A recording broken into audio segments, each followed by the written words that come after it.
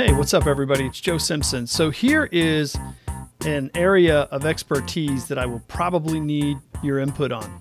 Uh, I wanted to talk about fishing line today. I talk a lot about rods and reels, baits, and different fishing techniques, but I rarely talk about fishing line. And It's probably the least thought that I give to any of the gear in my fishing game, and it's probably the most important, or at least one of the most important.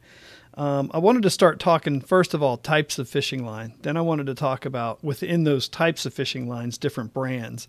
And then I wanted to talk about uh, the different applications and when you might want to use one versus the other. So I fish a lot of ponds and I fish mostly bait casting gear. Um, I have found that for my purposes, 90% of the time, I can use a rod and reel equipped with a 30 pound braid tied to just about anything and I can catch fish. With the caveat being that the braid has to be, I think, the right color. Um, some people argue that color doesn't matter. I like uh, when I'm using a braid or uh, a hybrid line or something that's not uh, a true mono or fluorocarbon, I like to use line that is kind of darker and matches the water staining of the areas that I'm fishing in. Kind of, kind of makes sense. It's kind of camouflaged. So let's talk about some of these lines. In front of me today, I have Berkley, Spiderwire, J Braid, and Power Pro. Um, and I don't have these for any other reason that usually this is what was on sale and it's what I bought. So I've been kind of cycling through different types of braids and I've come to determine that I've liked certain ones over the others.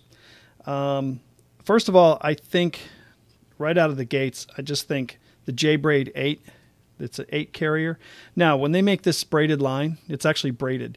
Um, you can take four pieces of line and you can braid it all together to make a fishing line, or you can take eight pieces of line and braid it all together. Now, the eight carrier wire or the eight carrier braid is going to move smoother through your guides. So sometimes with your fishing rod, you might want a smoother braid for your guides, um, and there might be other applications for a smoother braid.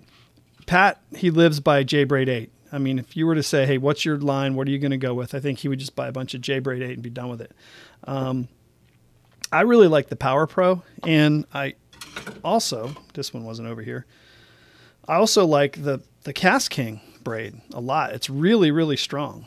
Now I haven't done any like actual uh, strength tests on these lines to see which ones hold up and which knots hold better. I don't think it's really necessary. I think if I have a 30 pound braid and it gives me anywhere from 25 to 32 pounds of strength, I'm fine with that.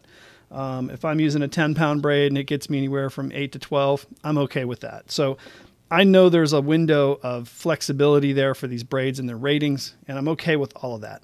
But my question is for you guys of all of these braid types, which ones do you guys like to use? I have Berkley X9. It's $17 for a spool of 40 pound braid, 165 feet, which I think was a good price. It was on sale. Um, I have Spiderwire, which I, I've used this a few times. It's 30 pound Spiderwire. It feels fine.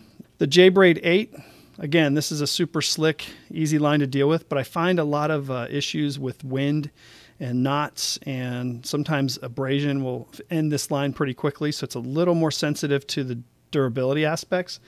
But really, for my purposes, I actually tried some of this KastKing on a giant spool. It's like 30 pounds, 547 yards. You can get it for a good price off of uh, Amazon.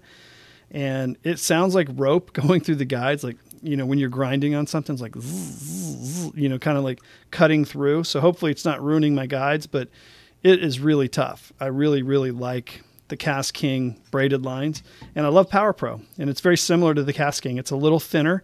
Um, the same uh, pound ratings in the Power Pro tends to be a little bit thinner than the braided line from KastKing for sure. And then Power Pro, of course, makes a, a, super slick product, which is similar to the J Braid 8, but I actually like the J Braid 8 if I want something slick. I like the Power Pro and KastKing if I want something a little more durable and you know saw cutting, cutting through the weeds, um, you know frog fishing, heavier duty stuff. Um, I've never tried the Berkley X9. It's just still in the box. What do you guys think about this stuff? And what about the Spiderwire? I don't think I've used that very much either. So anyway, that's kind of my braided line rundown. Let's talk about some other lines. I think one of the best lines ever made on the planet is that one right there. It's so basic. It's a Stren original 12 pound. I put this on my stuff. I do um, I can do topwater popper fishing with this. I can do crankbait, square bills, lipless, Texas rig, you know, anything that you might need a little bit of flex in your line. This is awesome, especially if you need something that floats. So it's a little more invisible than braid. It's uh, a very good quality line. I've used it for years and years and years. I think it's just still a go to. Um, I don't know. What do you guys think about Stren Original? I love the the color cast. I think it looks great in the water. I know it's not completely invisible, but man, this stuff just works and it doesn't get gnarly on the reel. It holds up well. I can't say enough good things about it.